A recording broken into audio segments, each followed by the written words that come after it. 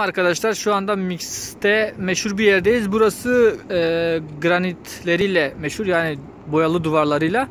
Fakat işin ilginç tarafı burası şeymiş fabrika. Merhaba Melis, Sarı Mod ne haber? E, fotoğraf çekmek istiyoruz. Bakalım çekebilecek miyiz? Çok güzel ya. Düşünsene böyle bir fabrika yani çalışasım geldi. Gidip iş başvurusunda bulunacağım. Beni işe alın burada çalışacağım. Şöyle bir yer. Söylemek istediğin bir şey var mı Melis?